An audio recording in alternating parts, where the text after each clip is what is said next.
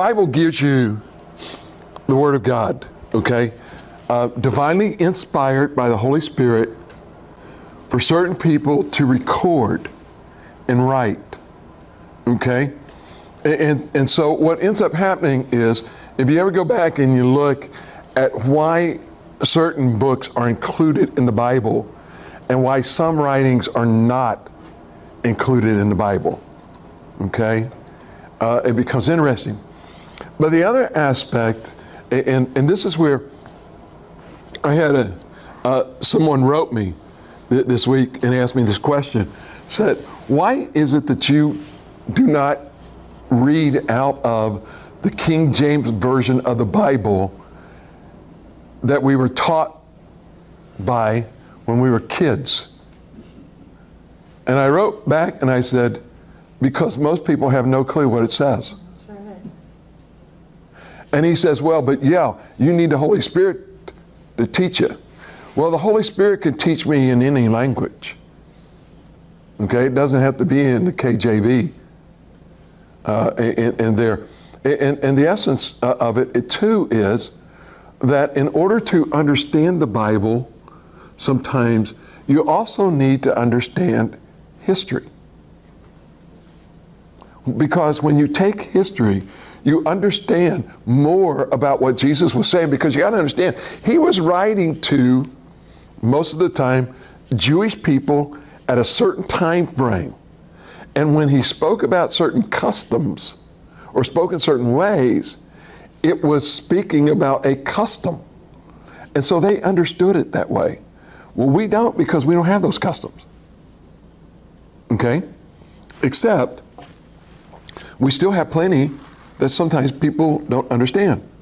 For instance, when a person dies, when do you have their funeral? Usually three days, that's a normal. Usually three days. And, most of the time they'll do the visitation on the third day, the funeral on the fourth. Do you know why?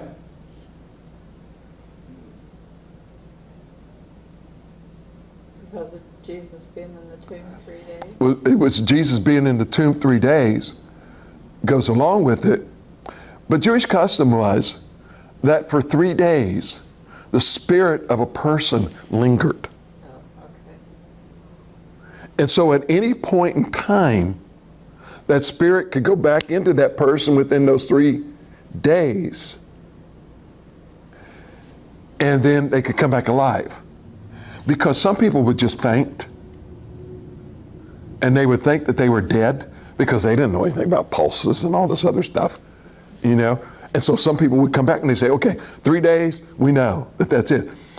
That is why Jesus waited till Lazarus had been dead for three days. Because if Jesus had gone there, Lazarus had died, and he had gone there before the three days had expired, and he had raised Lazarus from the dead, they would have said, Oh, he wasn't really dead. His spirit was lingering around, and so therefore you really didn't perform a miracle. So he waited till the fourth day to say, Okay, you can't question this miracle. And so sometimes when we're looking at the scriptures and we're reading the scriptures, there's a lot of stuff that you need to look at and see in order to understand. And that's what we're going to do tonight about Peter. Because there's some really neat stuff about Peter that we assume, but I can show you that you can get rid of the assumption based upon what is said through the scriptures. Okay? So we are in Luke chapter 6, which we've kind of done before.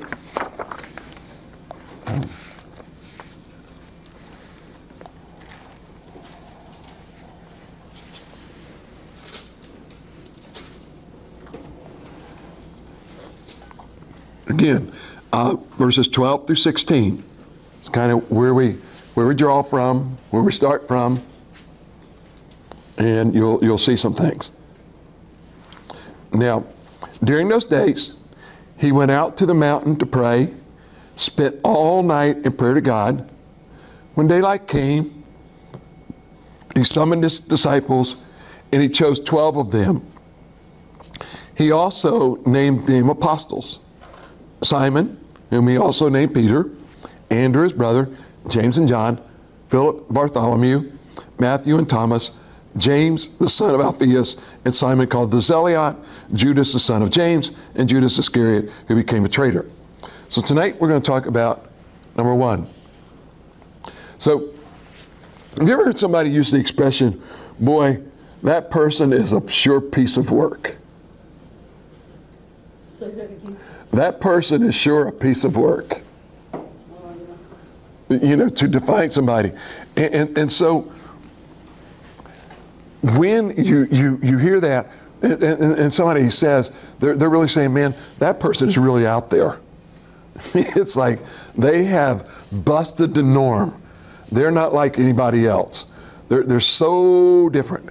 And what you're going to find is that phrase that we use could be used to define Peter. Peter was a piece of work in, in, in multitudes uh, of different ways. Because what you find is you use, usually use this expression for people who are kind of over the top. They do stuff that sometimes you just think, "You've got to be kidding me. Why in the world? Why in the world would they do that? I just don't understand how that person could do that. And sometimes you're going to find as you go through talking about Peter, there are sometimes you're going to think, how in the world could he do that? What made him say that? What made him act like that? What made him do that in that situation? And, and so sometimes you, are going to begin to, to really look and, and, say, okay. And, and, so we're going to show you some things tonight uh, in the next 45 minutes to an hour, uh, maybe an hour and a half, something like that. Ever about ever how much time I get to, to kind of show you some things really cool about Peter. Pastor Chuck, um, may I get me in, in to take notes with? Yeah. Yeah, they're, they're there. So when you find out, you, you look at this, and first of all, it says he's Simon, whom he also called Peter. And, and he starts to describe, he says, he has a brother, Andrew. And, and you, you think about that for a minute, and you think, what's, why?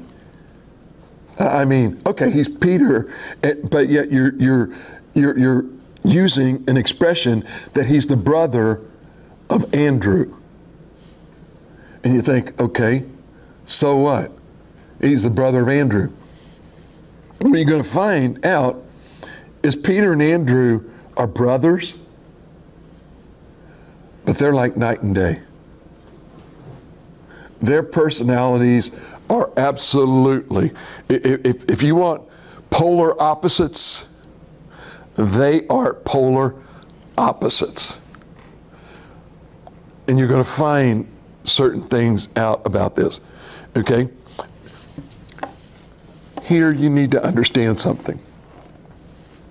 When you go through Matthew, Mark, Luke, and John in the four Gospels, you are going to find one individual who is intertwined in every one of those four Gospels.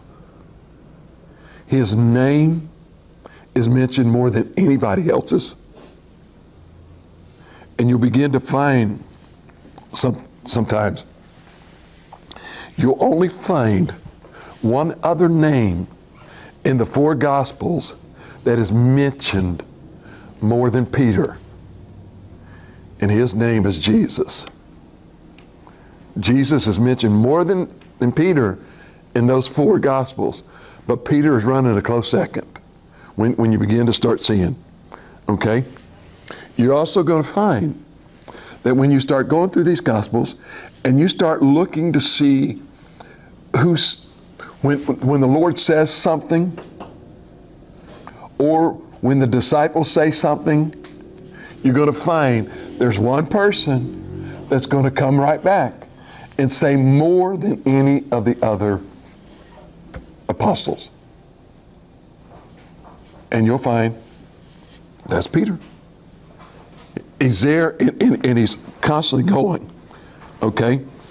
You're also going to find out that when Jesus is speaking in those four um, Gospels, there is one disciple that Jesus speaks more to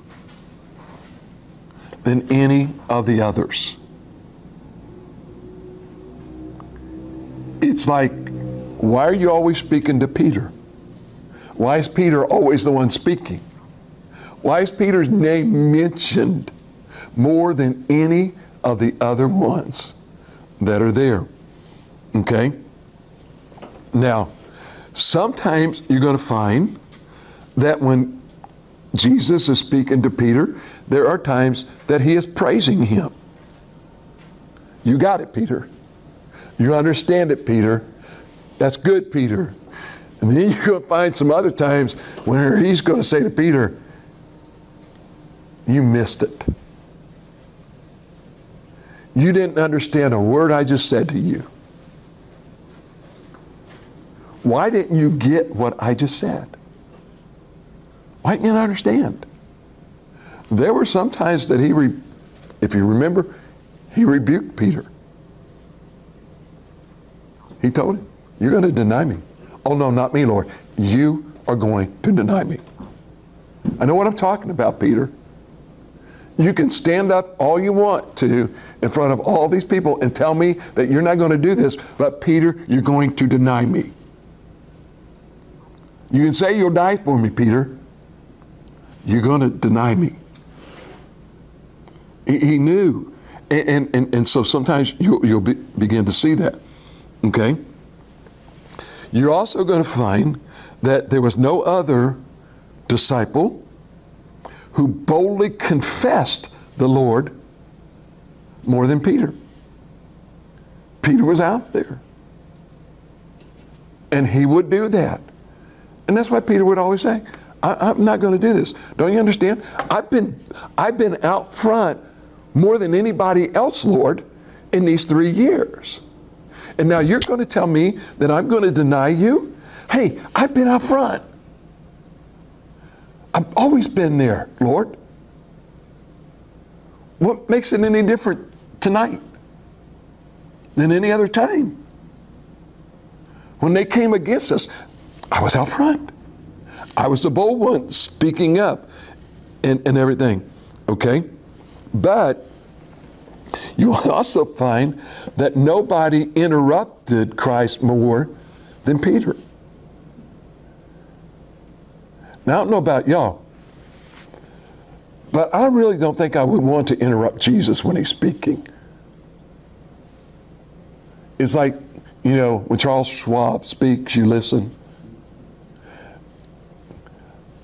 I, I think there's a time to shut up.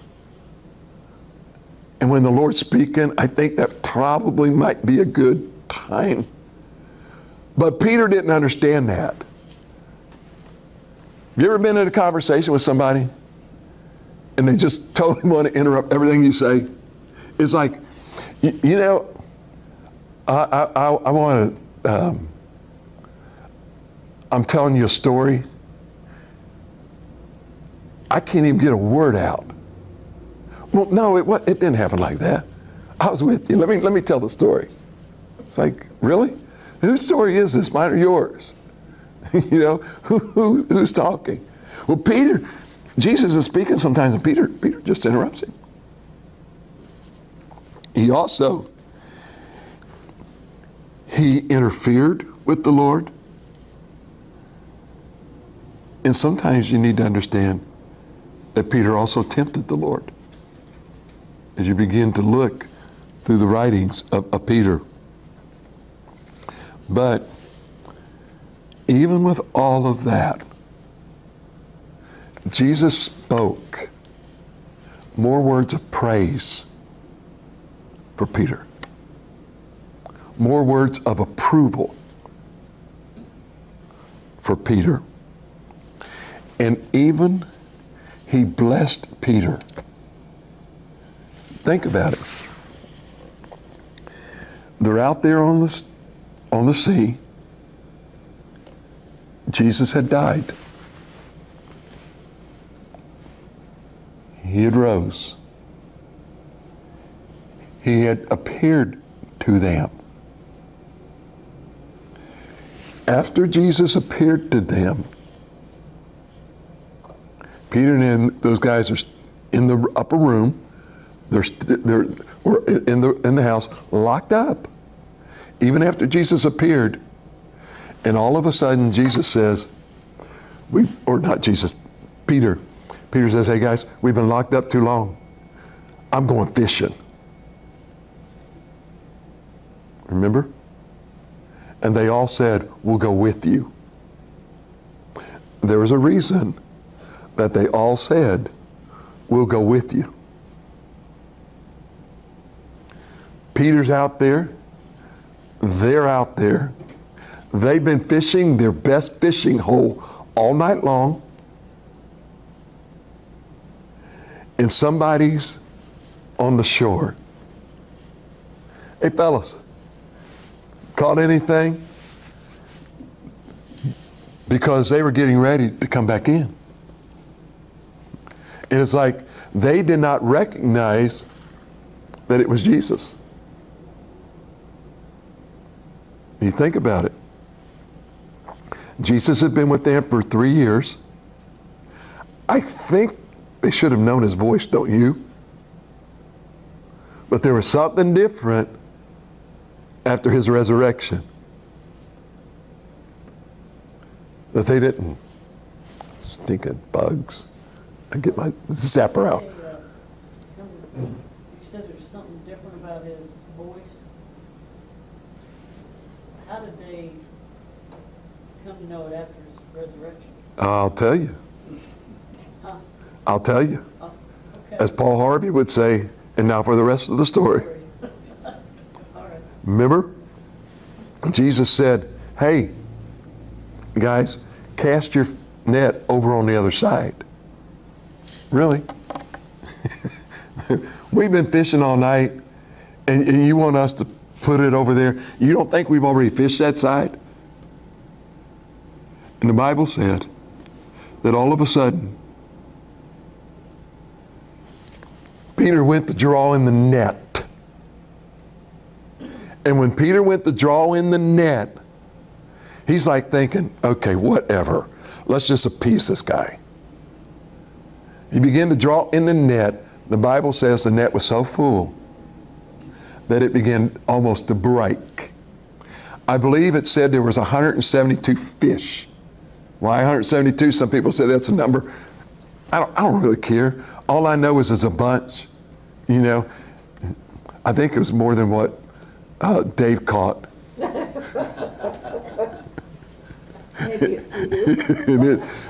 But then all of a sudden, Peter realized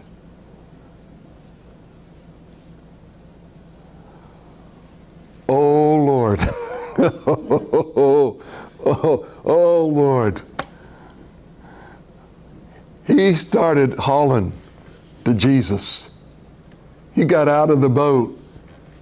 They, they've got the fish in the boat. Peter is out of the boat. Okay, he ain't walking on water. He, he- he- okay, at, at this time, but he said, "Hey, Lord, I'm coming. I'm coming. I know who that is because why? Peter recognized the voice in the storm.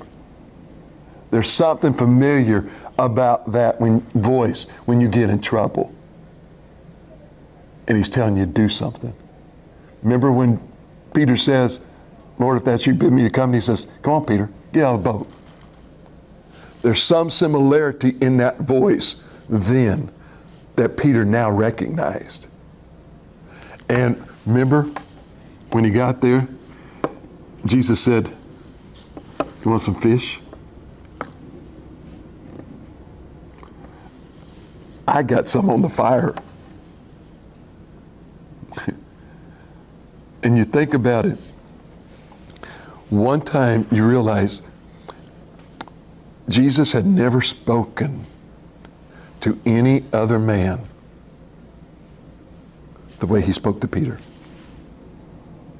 You don't find Jesus ever telling anybody else to get out of the boat and come to me.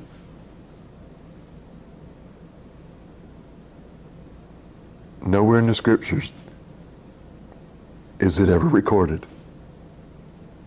But yet, in the same breath, there are times that Jesus said harder things to Peter than to any of his other disciples, okay? Unless it was Judas when he said, One of you is going to deny me. And, he's, and Judas, is it I? He says, What you got to do, go do it quickly.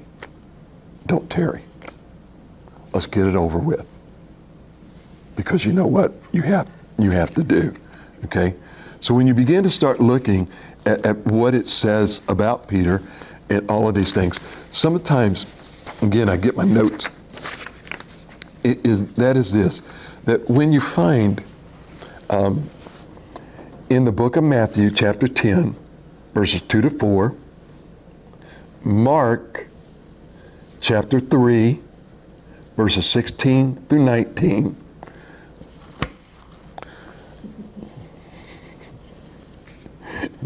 Acts chapter 1 and verse 13, and Luke chapter 6, verses 13 to 16, you will find the list of the disciples. Every one of those lists will have one name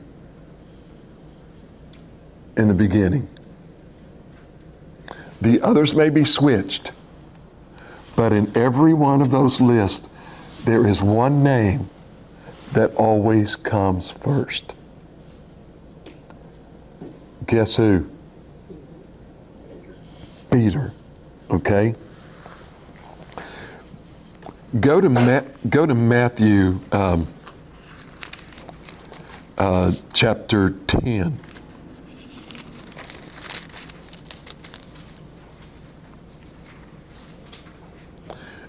And I'll, I'll show you something. Okay? Matthew chapter 10, in verse number 2. These are the names of the 12 apostles.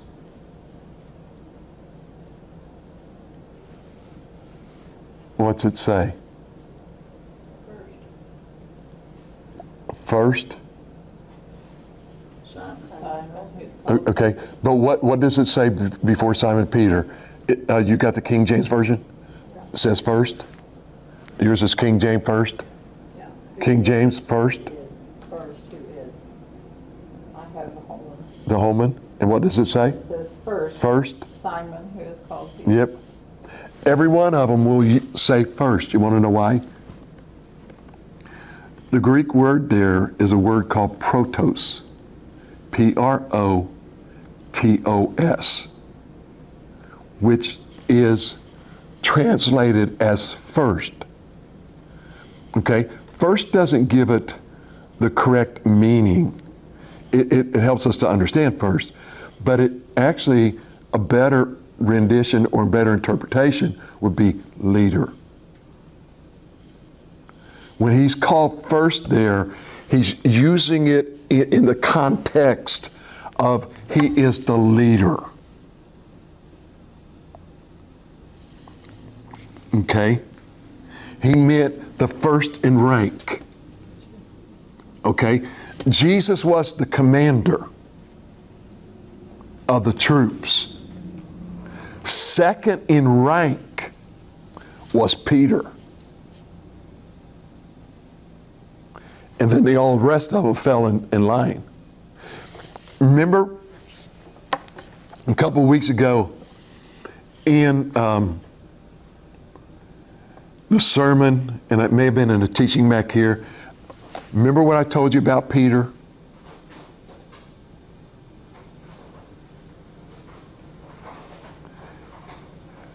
Peter was the leader, but guess what Peter was to do? Remember? Huh? Yeah, they, they say he's first pope of the church, I think, St. Peter. But what Peter did was, remember on the day of Pentecost? Who came out of there preaching? Peter. Peter's job was to spread the gospel to the Jews. and open the door the way for Paul to come in and now reach the Gentiles. So, what you have is this bag of ragamuffins had a leader, Jesus. But when Jesus died, he passed the mantle over to first Simon, who is called Peter. And, so he began to, to show, because in the life of Peter, Peter had to be taught how to be a leader. Remember, Jesus would go off somewhere. And who would he take? Peter, James, and John. You will always find, always, I, I don't think there's any exception to, to this statement. There may be, but I don't think so. You will always find, if he gives three, Peter, James, John. 12, Peter. He always giving the first in rank, the leader. It was, it was not coincidental that the words of God, th- this is why I say sometimes, it, sometimes people say, oh, it doesn't matter. Oh, it does matter. It does matter in the order in which these appear because Peter was the leader. And when they recorded this, they even if it was Matthew, John Mark, Luke, or, or uh, John, it doesn't matter who was writing. They always understood Peter comes first. He's the leader. And, and so sometimes we, we don't we don't understand some things. Okay? Now, one thing that some people don't understand uh, uh, about leadership, okay, and, and that is there are times, and this is what Jesus was trying to teach Peter. There are times that you've got to give up yourself in order to get up, to go up.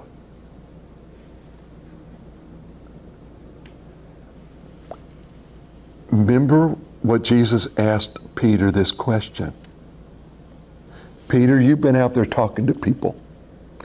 You've got your ear to the ground. You've been listening to them. And Peter, who do they say that I am? And what did Peter say? Some say that you're Moses. Some say that you're even Elijah, come back. Or some say that you're even John the Baptist. And Jesus said, Well, Peter, what about you? Who do you say that I, I am? And he says, Oh, you're Jesus, the Son of the living God. Remember what he said, flesh and blood have not revealed this unto you, Peter, but the Holy Spirit. Peter had to give up in order to go up. Peter had teaching of the synagogue. Peter was part of the Jewish movement. He had to give it up in order to go up. And there are some times to be a leader, to learn, you got to give up in order to move forward. And this is what Paul, or this is what Jesus was trying to teach Peter all along. Peter, you've got to be changed. Remember what Andrew Andrew was the one that led Peter to the Lord. Remember what he said to Peter? He says, "Come here, Peter. Remember this this Messiah that we've been looking for? I found him. I, I need you to come meet him." And Andrew brought Peter or Simon, Simon to Jesus. And he gave up his Jewish heritage in order to come into the kingdom of God. And, and, and the leader, you, know, was there. Okay? Now, one thing was in order to be a, a, a good leader, there, there's got to be some self consciousness in here, okay? So look at what he, Peter had to do. Okay? How um, how, how do I lead you into this question? to give me the wrong answer. Yeah. You're good at that. You'll figure it out.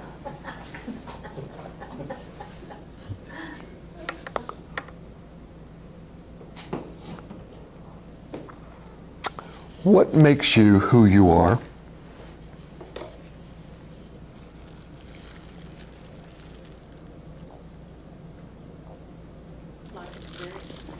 Hmm? Life experience. Okay. What makes you who you are?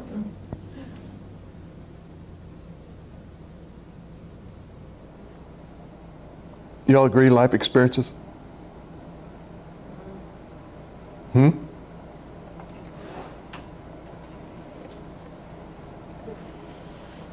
You're saying what makes you who you are, hmm What defines your life? would be the Christ that's within you, right?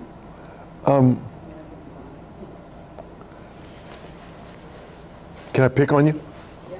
You always get, Huh? What makes you talk so much? what makes me talk so much? I, I want to learn. I have questions, so, you know, I want to learn. I Did you get to talk much when you were a kid?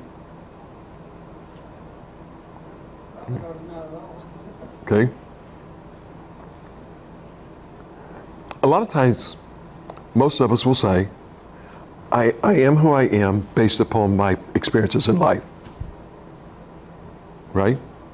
I, I mean, honestly, you go talk to somebody and, and they'll say, Well, I'm, I'm this because this molded me this way. Okay? Can I tell you that's wrong? That's what Satan wants us to believe.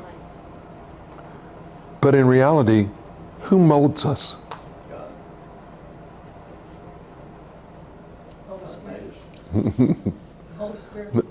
No. Who makes, who molds us? Jesus.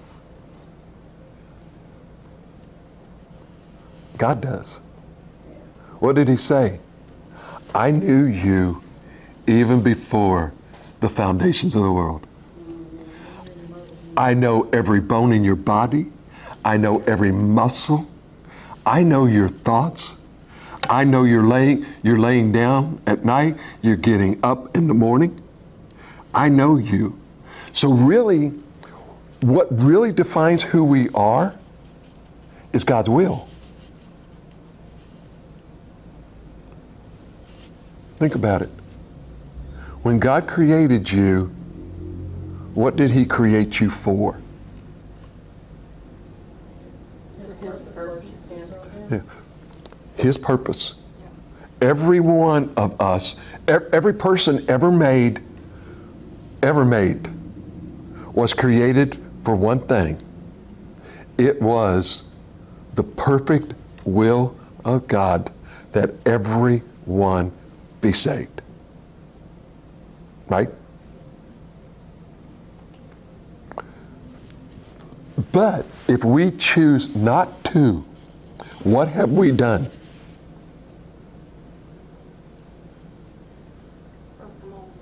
Huh? Broke them all. Broke them all. We have deliberately chose to go against the will of God.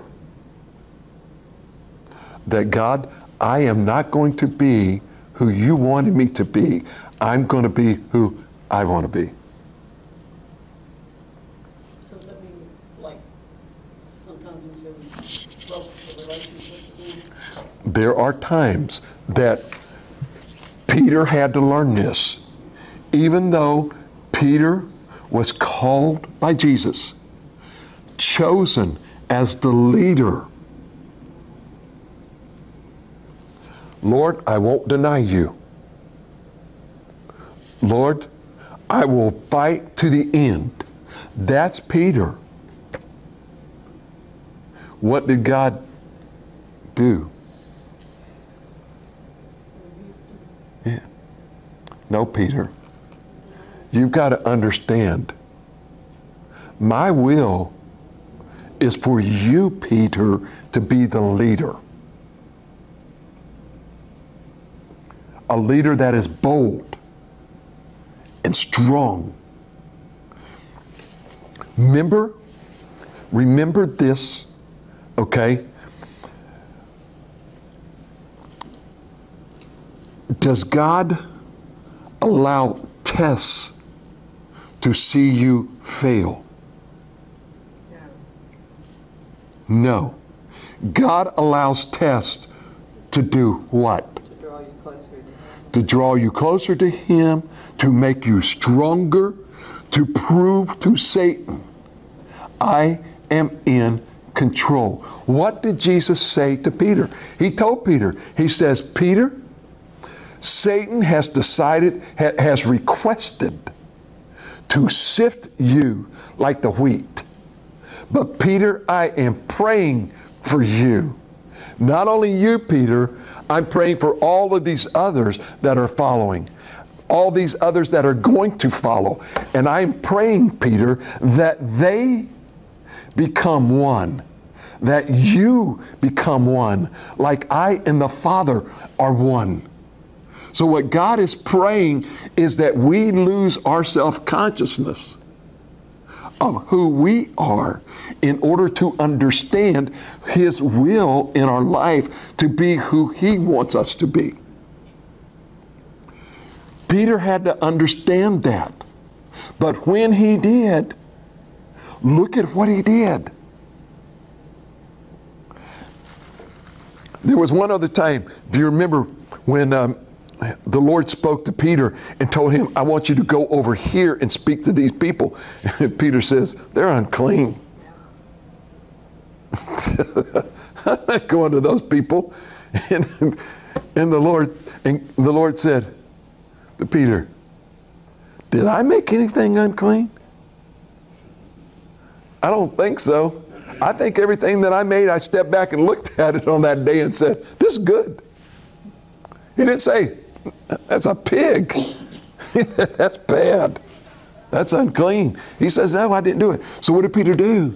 He had to lose his self in order to do what it was. And so what happened? Peter goes to get hung, crucified. And he says, Don't you even dare put me in the same position as my Lord and Savior. I don't even qualify there. If you're going to crucify me, hang me upside down. I don't belong like him. Okay? So, um, when you begin to look, uh, go, go to 1 Peter chapter 5, um, verses 6 through 7.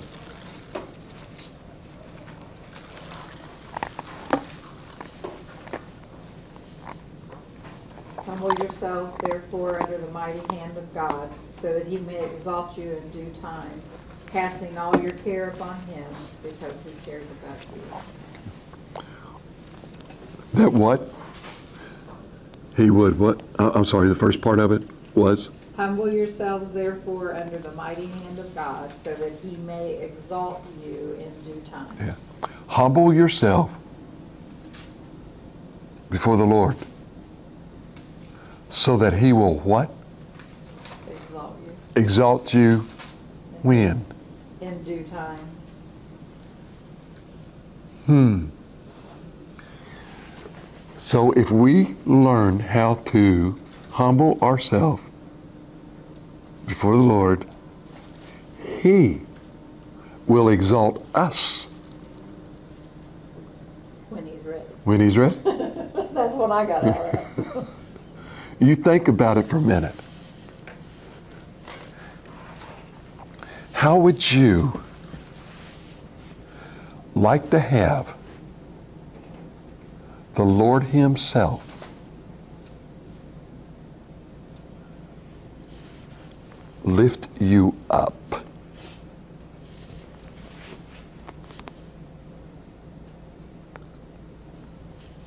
That makes me chill.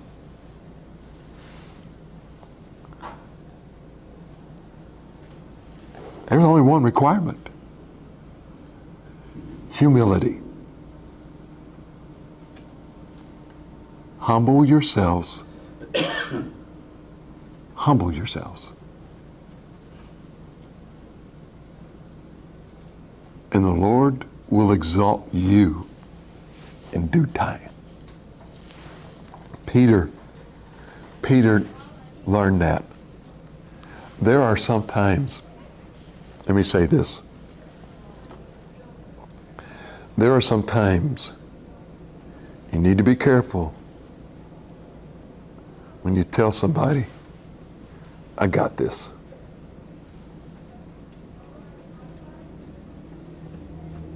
Really? really?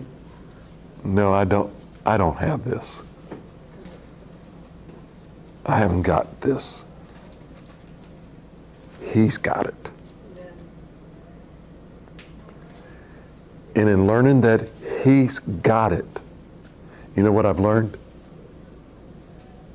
If He's got the situation, He's got me covered.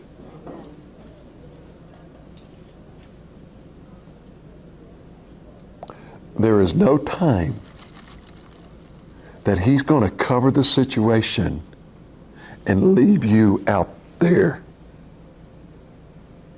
by yourself.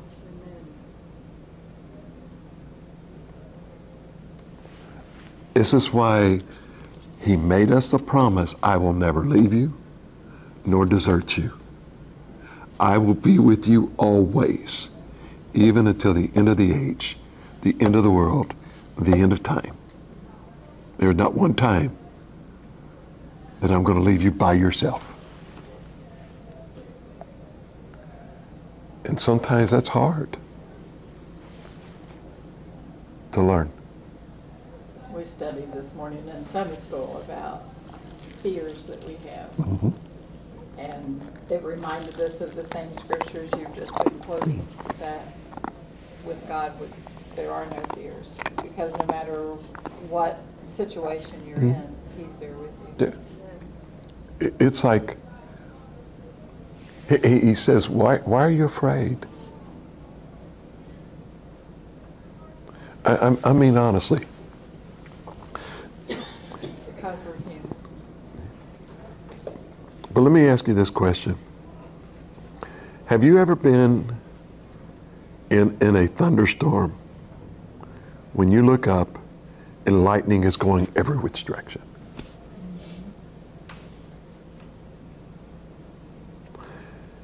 Do you ever realize God told that lightning to go that way, and that one to go that way, and that one to go that way. I need you to last five seconds. I need you to last 10. I need you to do that. God is in control of every one of those lightning bolts.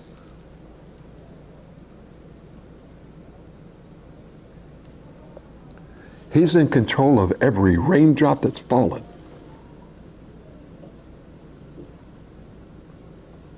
Every one of them. They cannot fall unless He permits it. And let me say this if God can control the raindrops and the clouds and the lightning and the thunder, I think He can control our issues. Don't you?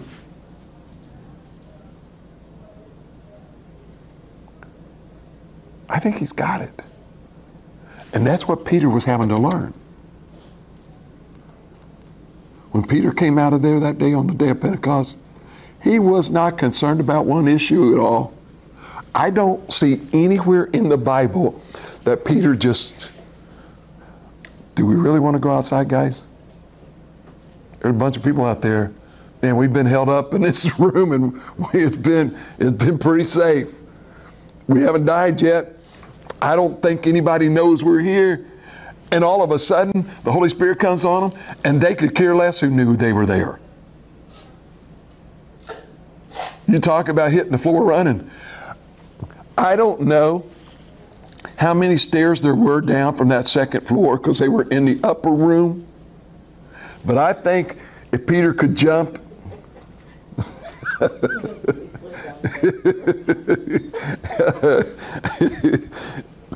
the first Spider Man. but sometimes we, we, don't, we don't realize this. Okay? Now,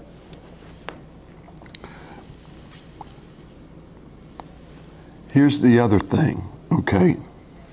And sometimes, sometimes we fault Peter for this, but in actuality, it was not a bad thing. And that was Peter was self confident. Okay? Think about it for a minute.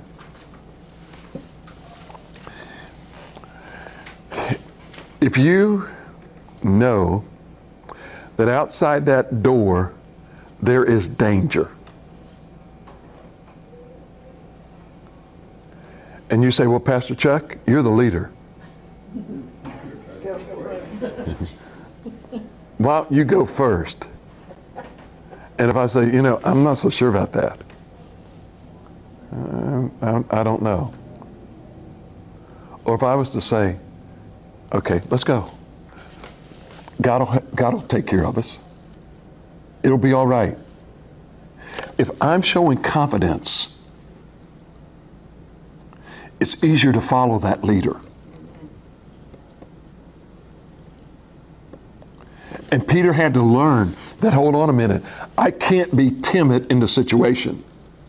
There are sometimes that people will say, Why do you do the things that you do? Why? Because I honestly believe God's going to do it. I could say, I'm not too sure about this. And you're going to say, Okay, neither am I. It's not a boastful pride. It, it, it is the faith to understand that, yes, God, I heard you. I heard you. And I know that you are not taking me somewhere that I should not be going. You're not going to put me out there to let me be slaughtered. You will protect me. They may take my life, but they can't take my soul. That's his. That's not theirs. And, and, and, so Paul, Paul began to understand this. Okay. But sometimes what happened was with Paul, or with Peter, I'm sorry, with Peter was his self-confidence a lot of times tripped him up, as you saw when not me, I'm pretty confident here, Lord. That also became part of his downfall, okay, in there. So, so when you look at uh, some amusing moments in, in the life of Peter, go to John chapter 13.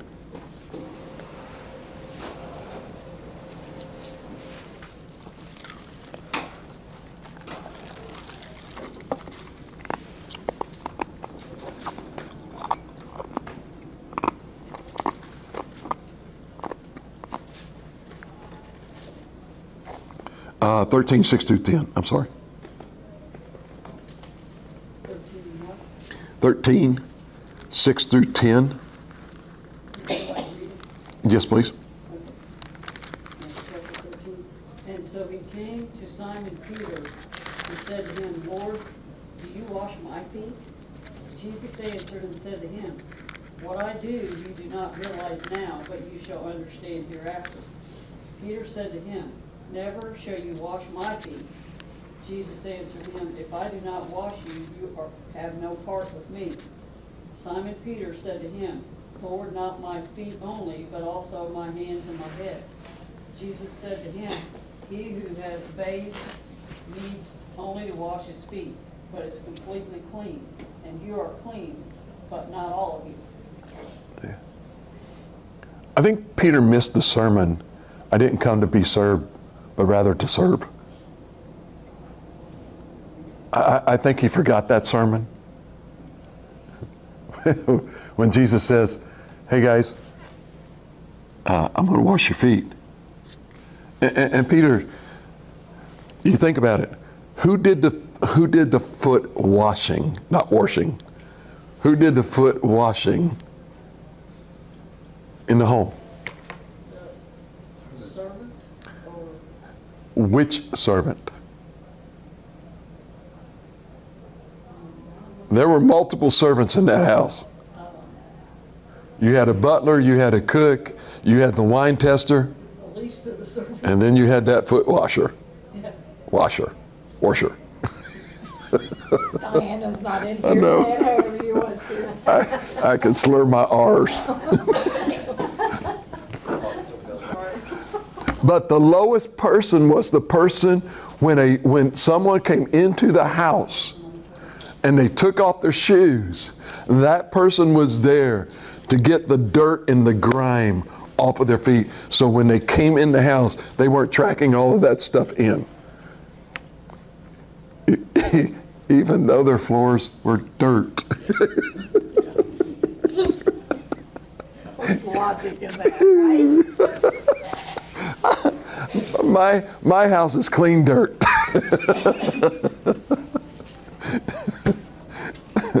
so anyway, they would clean the feet, you know, because in, in all honesty, you think about it. They reclined at the table, ladies and gentlemen.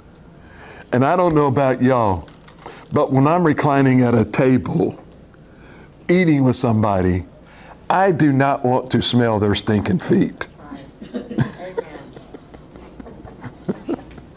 right? Is that enough when they take their shoes off sometimes? And that's me, I know. that's why when I come to your house, my shoes stay on. I'll remember that- yeah, I'll remind you. but you think about it. The Lord says, Hey, Peter, I- I'm, I'm going to wash your feet. Oh, come on. I should be washing your feet. He says, Peter, you don't understand. If I don't wash you, you're not clean. He says, Lord, not just my feet, all of me. Cover every bit of me. That was one. Matthew 26, 33 to 35, you know it well. Even if everyone runs away because of you, I, I'm staying put. I will never, ever, ever, ever, ever run away. I assure you, Jesus said to him, tomorrow, tonight, before the rooster crows, you will deny me three times. Even if I have to die with you, Peter told him, I will never ever deny you. We always criticize Peter. Read the rest of the story. The rest of the story says, and all the disciples said the same thing. Why did they all say the same thing? Huh? Follow the leader. Absolutely. Even they recognized who the leader was. Even though he was absorbed with his self and everything else, they're following him. Um, John 18 10, when Jesus was arrested.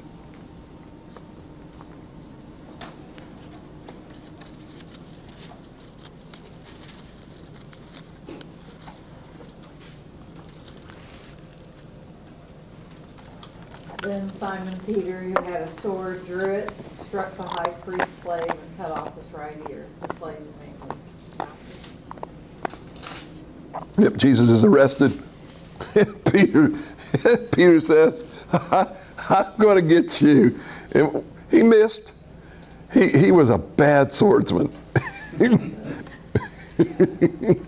mean, honestly, if, if you're going to draw a sword, don't you think you better know what you're doing with it? But he was willing. Yeah. Do you under, do you ever get the picture of how he cut that guy's ear off? I mean, honestly, do you ever think about it? How in the world did he ever cut that guy's ear off? Be like slicing through the air. No, he wasn't doing that. the guy just got in the way. he's, he's just swinging that thing. Peter didn't know what to do with a sword. He was not a soldier. He was a fisherman. He was a fisherman. Give him a hook, and maybe he may have been able to hook that dude. but give him a sword, he has no clue what to do with that. Up tonight. I'm telling you. But this, this is what I'm saying. Some of these stories are so funny.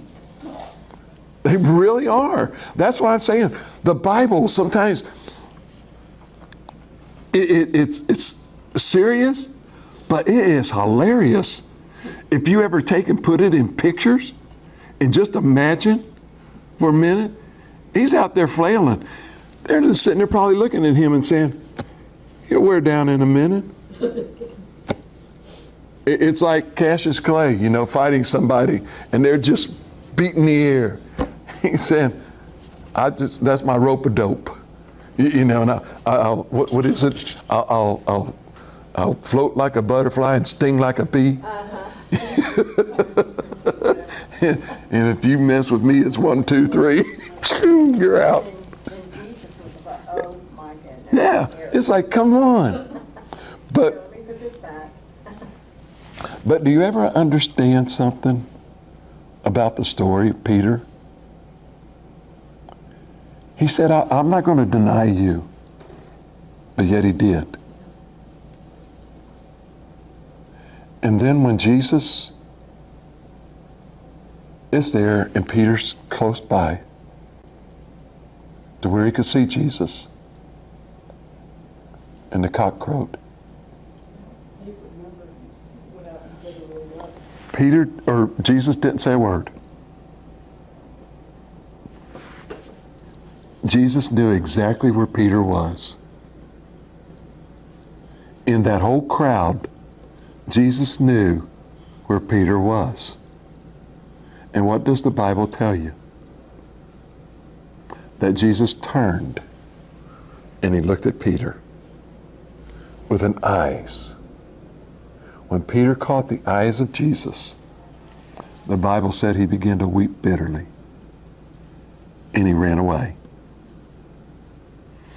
Go with me, with me, if you would, to John chapter 21.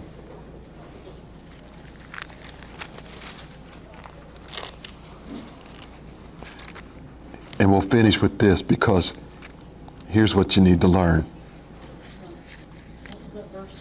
John chapter 21, uh, verses 15 through 19.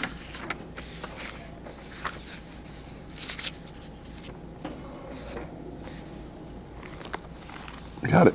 Yeah, so Go for it. Dying, Jesus said to Simon Peter, Simon, son of Jonas, lovest thou me more than these? He saith unto him, Yes, thou knowest that I love thee. He saith unto him, Feed my lambs. He saith to him again the second time, Simon, son of Jonas, lovest thou me? He saith unto him, Yea, Lord, thou knowest that I love thee. He saith unto him, Feed my sheep.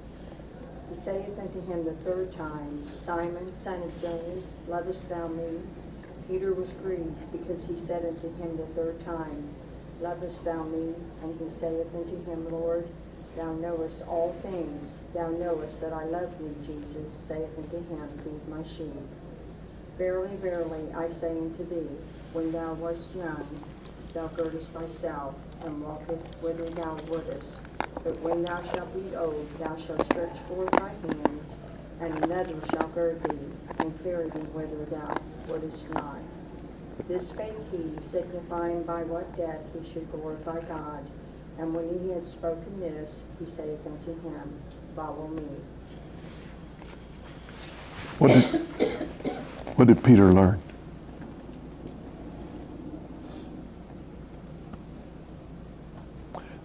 This is after Jesus had, had risen.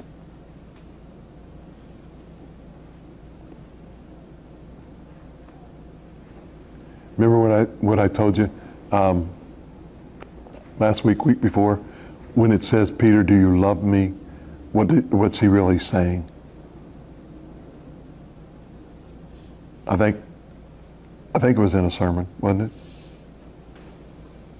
They were all running together, but but I know it's.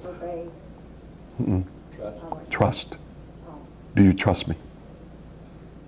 Peter, do you trust me? Think about this for a minute. Peter had denied the Lord. He ran away. And what is Jesus saying to him? Peter, do you trust me? Yes, Lord, you know I trust you. Okay, Peter, then I want you to go feed my lambs. You know what he's saying to Peter?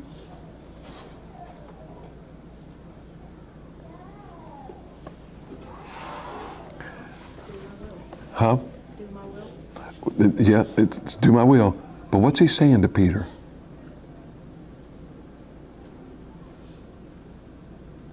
Peter, you told me that you would never leave me nor desert me. But Peter, you denied me three times. He didn't bring it up. He says, Peter, in these words, encapsulated in these words, when he says, Peter, do you love me? Do you trust me? And Peter says, Yes, Lord, you know I trust you. He says, You know what? I have forgiven you of everything, and I trust you. Even though you cursed me. He didn't bring it up. He was forgiven. Not only was he forgiven, he is learning what it means to have compassion on people. Jesus was giving Peter a leadership lesson.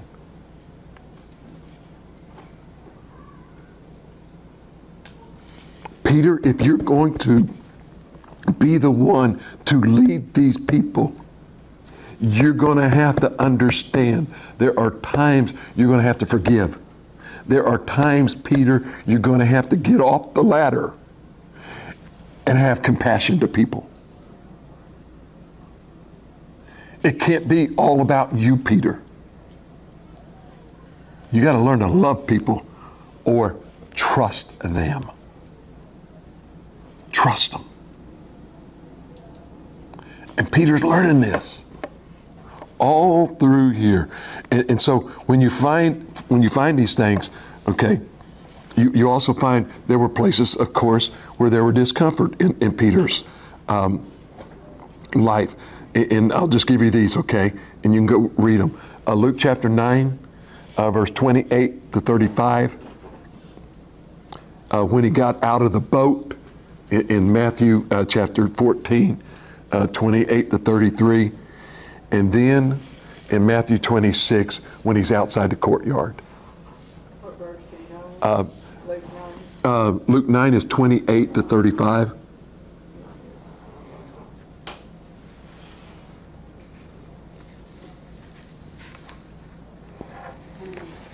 what was it, Matthew? Was uh, 26, 69 to 75. So, what do I have to learn in order to be a good leader? I, I got to learn it ain't about me, it's all about Him. I've got to learn to give up myself in order to be able to do His will. That's what Peter taught us. And, and, and all, of, all of the things that happened in Peter's life and, and the things that we always talk about, God used every one of those as a moment to teach Peter, hey, I need you to be my will. I need you to be my will. And when you get in my will, Peter, I'll trust you. And will you trust me? There are so many times we got to get out of the boat. It's safe in the boat, even when the storms are going around. And Jesus said, You don't understand. I not only control the waves, I control the winds. I control the boat. I control the path that it's going to go. And when I tell you, you're going to get shipwrecked, but you ain't to die. I know what I'm talking about. That's what God's telling us. Okay? So that was Peter. Next week, I think we do Andrew. Hello, this is Pastor Chuck Cotton from Calvary Baptist Church. First of all, I'd like to say thank you very much for taking the time out to either listen to our sermon or to watch it on video. We are grateful that you've actually taken the time and hope and pray that it has been a blessing to you as it was to us as we delivered it to our congregation. We ask if you have any questions whatsoever that you email us at Pastor Chuck at calvarybaptistmiddletown.org or you could come and give us a phone call, if you would please, at area code 513-423-7251. I'd like to take this opportunity to also invite you to come to our church and visit us, if you would please. We actually have small groups on Sunday morning starting at 9.30 with our morning worship following at 10.45. Prior to our morning um, small groups, we also provide donuts with coffee, um, milk, orange juice, a time for fellowship, get to know each other, have a good time before we actually break out into our small groups for Sunday. Our worship services are uplifting, they're fast moving, and everything in our service is just a fast pace. But we do take time every once in a while to slow down as we feel the Holy Spirit moving, and we never want to hinder it in any way. We also have on Sunday evening during the school year, we have Awana, and Awana starts with a Puggles, actually from age two all the way up through high school. And during that period of time, we also have a worship service. Both of these start at 6 o'clock and end at 7.30. Our Wednesday night, we have a Bible study, which starts at 7. We generally finish about 8.15. We would love for you to come and visit with us. Don't have to dress up. Just come as you are, because to us, it doesn't matter. You're, you're a child of God, a creation of His, and so to us, you're important to everything that we do. Our motto here is building the kingdom one life at a time. And we hope that we have a chance to visit with you, get to know you as you get to know us. So thank you, and may God bless you.